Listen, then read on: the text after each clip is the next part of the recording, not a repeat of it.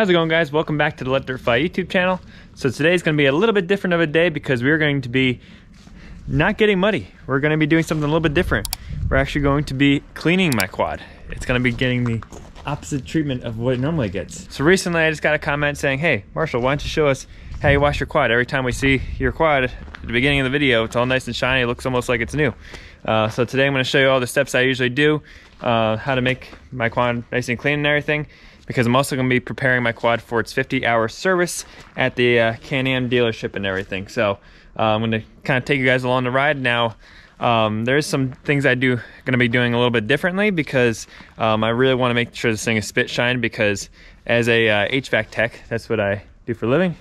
Um, one thing I hate is when I get to somebody's house and their boiler or furnace is just completely disgustingly dirty and whatnot. It's just not very cool to work on because you you get kind of disgusting and dirty and everything. So why not make the technicians uh, life a little easier at the dealership? So I'm going to make sure this thing is as clean as I can possibly make it, and I'm gonna bring you guys along so this way you guys can see all the steps I do. So one thing I'm just going to point out real quick, you guys, is that I am not an expert by any means. So if you have any regrets on how to wash your quad properly, please consult your owner's manual or dealership to make sure that you do it the correct way because I know one thing I'm to be doing today is using a power washer and first thing it says in the uh, Can-Am booklet is don't use power washer. So, but unfortunately you're to have to with these things when you're playing in the mud. this is something you're to have to use because there's no way a garden hose is to be taking it off. You'll be out there for hours and a lot of times it does take me hours to clean my quad.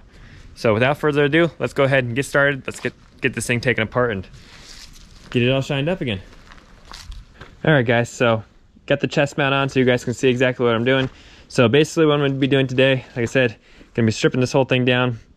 Now, the first step I always do before even starting to wash the quad is I like to bring my quad through a stream after we just get done mudding. So we have a nice spot back in our trails over there um, where I'm able to get the quad basically up to the fenders here um, in water. And what that helps do is it kind of helps clear out everything underneath and everything here. Um, gets all the big mucky stuff out this way. Um, makes it a little easier to, to wash off and stuff. Obviously, as you can tell, there's still some stuff on the top that we got to get off.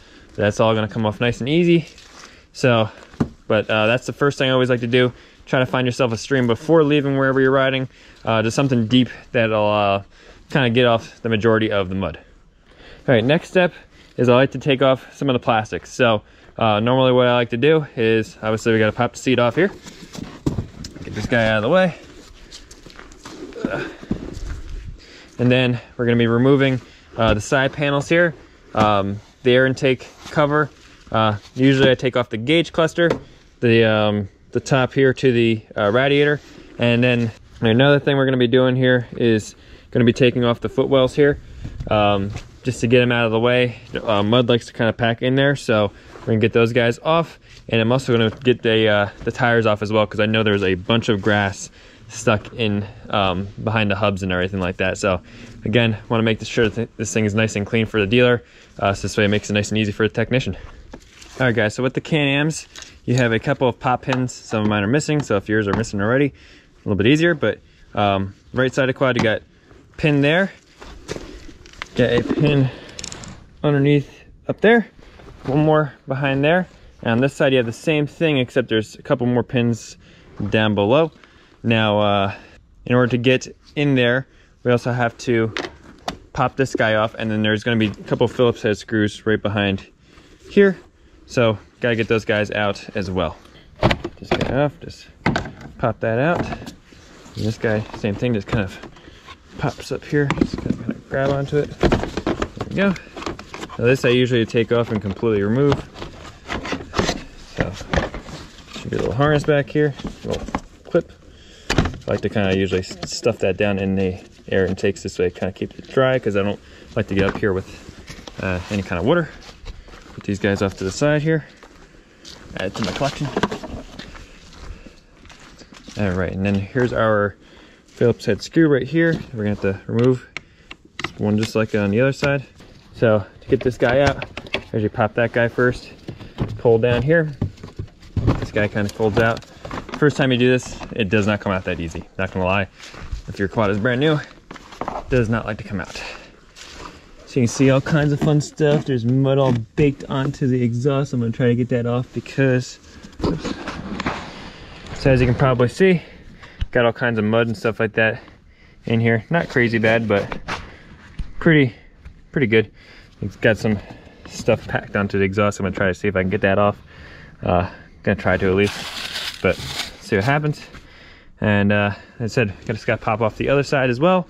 And we're also gonna be popping out the footwells because mud likes to get trapped in underneath. So gonna be doing that as well. All right guys, I'm gonna end just using this camera since it's a lot easier, but it's gonna pop this guy off while I'm kind of over here. Grab the back. It's gonna do a lot of this one-handed. It's gonna be easier than using the chest mount, I feel like. reason I'm popping this off, I wanna clean the pre-filter. Oh, it's actually not too bad for the uh, CVT. Add this to the pile of good stuff. I'm using the power washer in a little bit here. Gotta change out that pit. That's gonna do some damage if I leave that guy on. How's everything else looking up here? Pretty good, pretty good. All right, let's get this guy popped off now. All right, so this side's a little bit more uh, challenging to get off because uh, the flap's a little bit bigger, but not too much harder, but same thing. I just like to pop this guy right here. This one's always a little bit tighter from here. Do that. Then do this. If I can do it, try to do this all one-handed. There we go. Then just kind of give her a good pull. Oh, yeah. Gonna have to loosen. Gonna put this on the other side. Like that. There we go. Now she should come sliding out. Or not.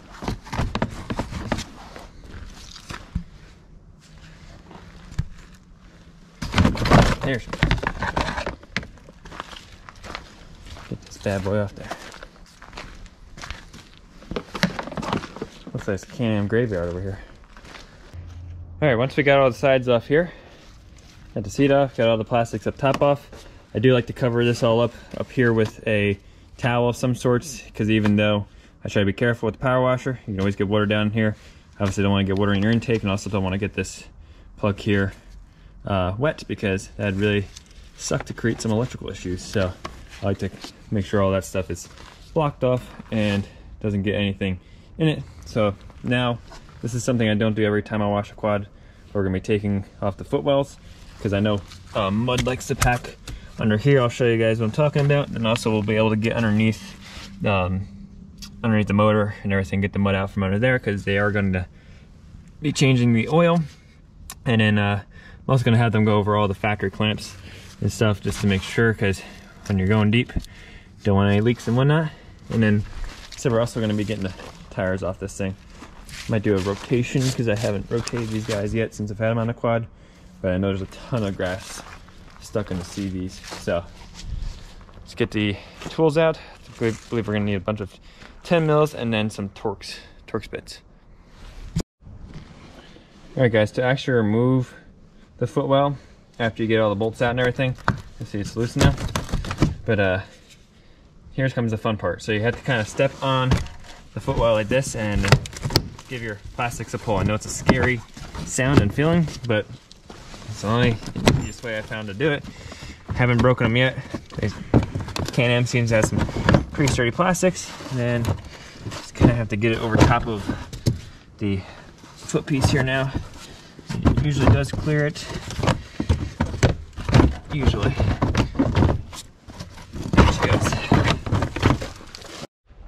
Alright guys, so got both foot wells off. There's a couple extra little tabs you had to take out for the uh, right side well that I forgot to mention. They kind of attached the uh, inner fender well to the uh, footwell, but uh, it's just kind of sad scene. Look at my quad. Like I said, this is a little bit drastic compared to how I normally clean my quad. Normally tires aren't coming off, normally footwells aren't coming off. Everything else I basically do. Um, I'm also gonna be taking off the rack because, I don't know if you guys saw in the background, I got something.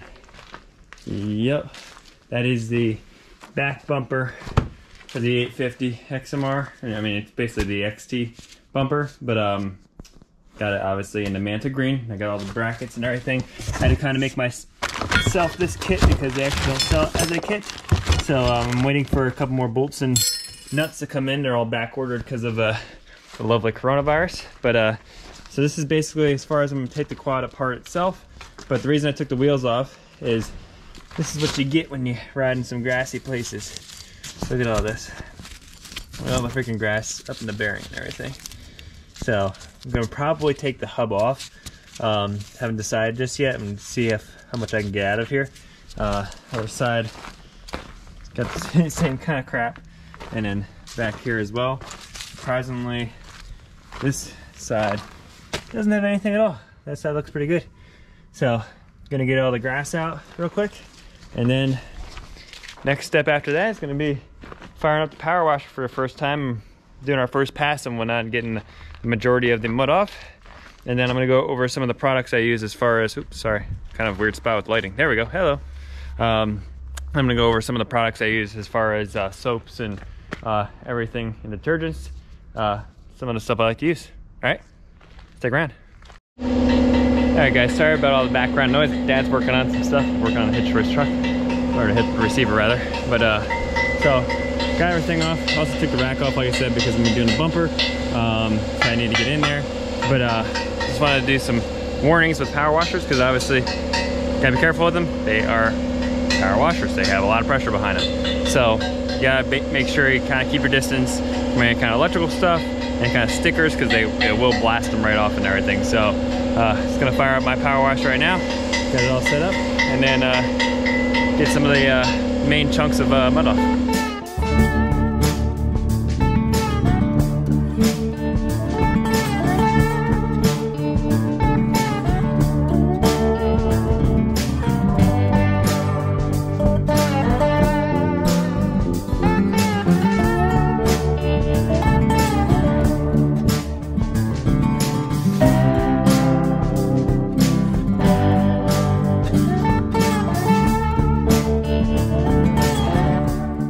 Guys, got the uh, quad all power washed off.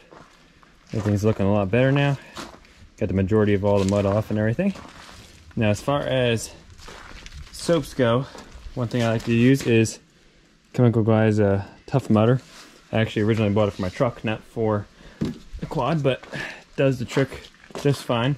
Now sometimes I do use a um, foam cannon. In this case, I'm not going to use it. I'm just going to go straight for just right out of the bucket and everything. Should be okay.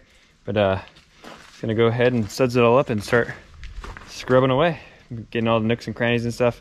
I use a uh, this is a regular wash mitt. A, uh, one of their brushes for tires and then also another brush for tires. Still gotta put the power washer in here real quick just to stir it up. But uh, basically just get it all cleaned up now and start sudsing away and then eventually I'm gonna have to also get at all that over there, all the parts. Yeah. Yeah. Yeah, my dad's playing with this hitch there. So, all right, guys, let me uh, suds her up and clean it all off.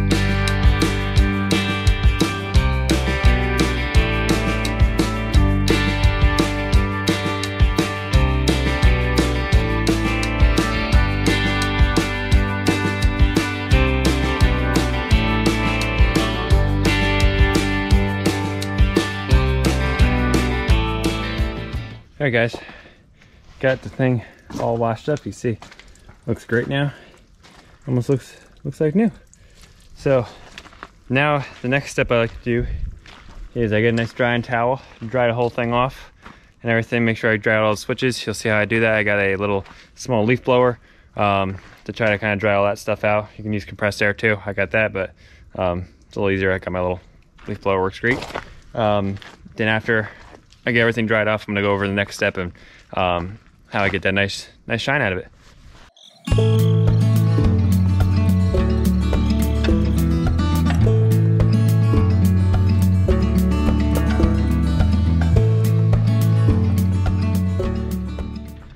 There guys, so got it all dried off. But you can see it's just missing something. It's not as shiny as she used to be. She's getting a little scratched up and everything from the trail. Got a couple kinks in the plastics from when I flipped it. Oops. But uh, yeah, it doesn't shine like she used to and everything. So one thing I like to use And now I'm not affiliated with the guy, these guys at all, but if, if they'd like to, let me know. But again, another Chemical Guys product, their natural shine. I just put it on a uh, little, uh, basically foam microfiber pad, and then uh, basically just coat the coat everything nice and light, and then I kind of uh, wipe off any excess and stuff with a, another microfiber towel, and it gives it a nice deep shine. Kind of restores shine black in, back into the black plastics, especially these guys since they get really scratched up. So makes it look good. So yeah, just gonna shine her up now and uh, catch you guys in a minute.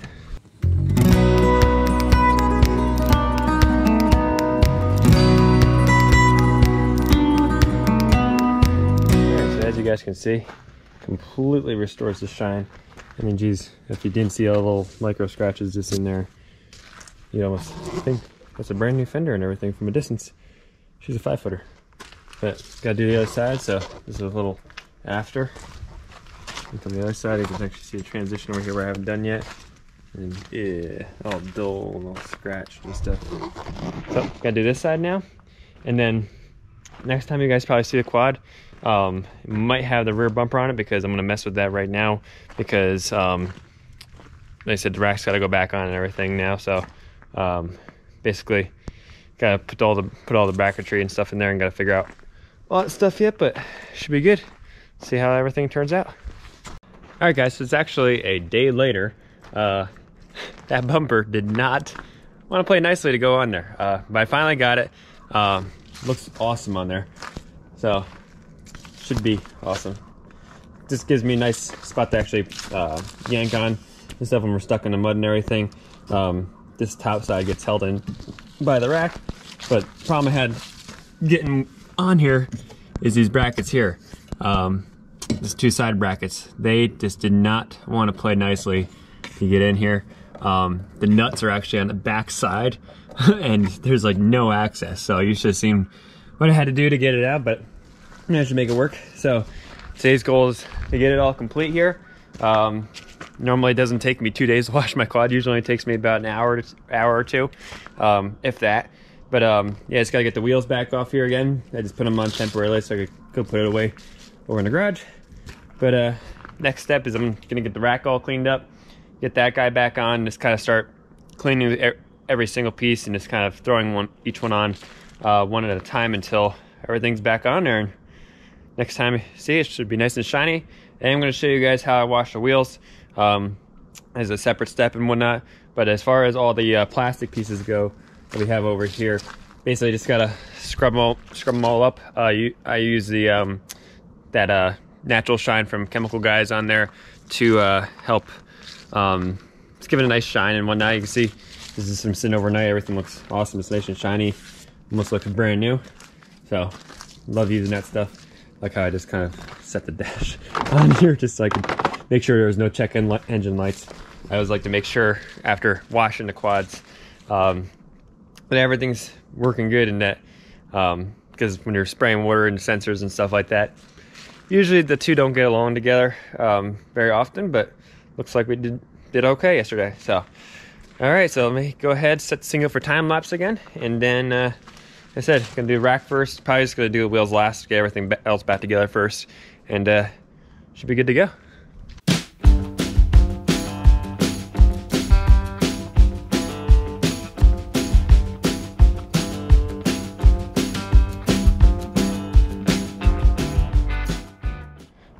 All right, guys, so got basically all the plastics back on for the most part. Got the rack back on, got all the side plastics, the top plastics here. And then uh, obviously both footwells, um, radiator cover, which I didn't clip yet. There we go, all better. Um, didn't get the uh, inner fender wells yet in because I'm going to be taking the wheels off tomorrow. I'm going to show you guys how to uh, clean these bad boys. See, nice clean quad and terrible looking wheels. Also got the seat over there. I want to show you guys what I do with uh, that guy because uh, there's some other products on that as well. Get a nice deep conditioning of the leather but didn't get to the belt today either. But um, it's gonna wrap it up just for the evening here. As you can tell, it's getting a little dark on me here. So I'm just gonna have to catch you guys tomorrow. All right, guys, so it's like day, like what, 10 right now, trying to wash my quad. Um, yeah, so it's actually literally a week later because the weather in New York has not been very nice. Um, literally has been cold, disgusting, raining, snowing, and every other kind of weather you can think of. Um, we've kind of had it recently in the last uh, week here or so. So finally, it's beautiful. It's almost like 70 degrees today. It's gorgeous. So uh, finally got the quad back out. Haven't got much further. Uh, only thing I got is um, finally got the rest of the stuff to finish off my bumper on here. So that all looks good. And I also got some goodies from RJWC. Not not an exhaust, unfortunately, but got one of their shift handles. I wanted to go with the, the non-billet one, the nice, um, what do you call it? I guess some kind of plastic they use here because um, it looks more OEM. And then I also got their really nice winch hook uh, holder. So put that on the fronts this way. Just a little bit easier access. When you're in mud, you don't have to reach down into the mud and everything. So this makes things a lot nicer. So today's goal is to finally finish up my quad. Um, I know this sounds like it's a big project and everything like that because just trying to make my quad look nice um, for the dealer and whatnot because um, like I said earlier in the video, um, it's going in for its 50 hour service. So I want to show them that I take care of this thing. Normally I don't go into this extent of washing my quad. Usually it's mostly just power washing all the mud out of the, all nooks and crannies and then um, basically suds and everything down. I do, do like I said, use the natural shine on the fenders and stuff um, just to give it like, just help protect the plastics. Um, helps the mud kind of um, flake off a little bit easier and whatnot. But yeah, so today we're finally gonna be doing the wheels. We're gonna get those situated and the, the seat. So as I just walk over to the wheel right now, well, one of the wheels, there we are. There he is. See, they're all nice and muddy and disgusting. So we're gonna try to get rid of that the best we can. Now, it's always important to know that you'll never, ever, the second your quad rolls off the showroom floor, get your quad to look as good as it originally did unless you do not ride it. It uh, mud gets trapped everywhere. You can even see after I've washed my quad here, all the mud and stuff. I scrubbed all this too and everything, and it's still all kinds of not perfect in there. Obviously the plastics and stuff up here look nice because I'm able to detail those a little bit better.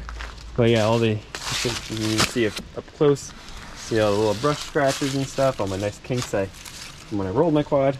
So it's really hard to make these things perfect. But right now we're gonna start off by washing the tires. I'm gonna show you the products I use for that and uh, catch you in a second. All right guys, so for the wheels, um, I use, they sell, um, Chemical Guy sells a uh, wheel cleaner called uh, Diablo. Um, that's usually soap I, soap I use, uh, but today I'm just gonna be using the Tough Mudder, but I am using the Diablo spray wheel cleaner.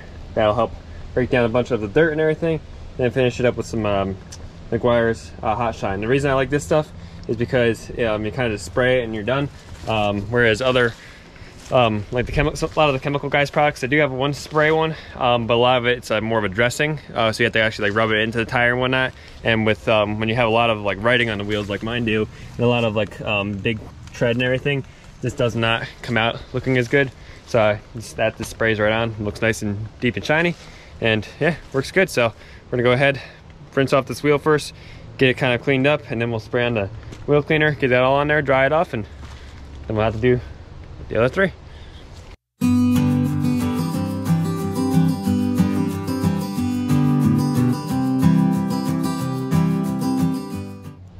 All right guys, so once I get the uh, tire basically all cleaned up, now the tread obviously I don't really clean because, well, it's the tread. It's gonna get dirty the second you pull away, so there's no point in really cleaning it.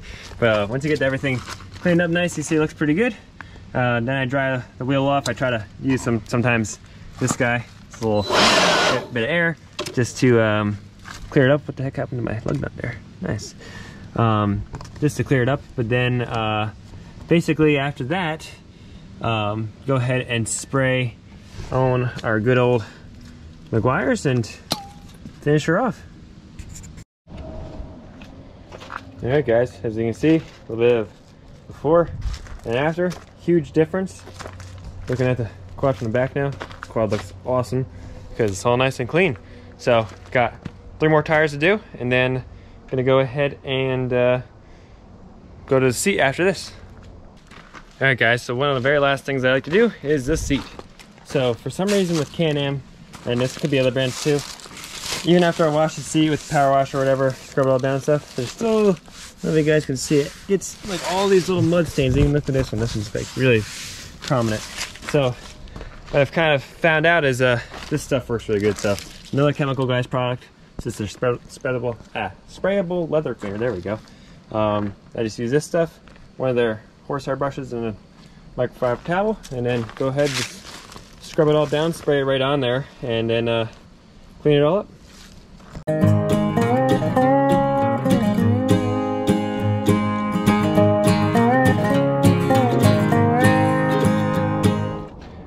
Right, guys, so finally got the seat all done. You see no more mud streaks or anything like that. They all came out really nice. And let's just take a step back and look at the whole finished product. It looks 10 times better. No more mud. But we all love mud, right? yeah, so obviously it's gonna get completely plastered with mud again very soon on the channel here. Um, but this is just something I wanted to do for you guys. Actually, one of our subscribers actually asked to see if we could do a video like this.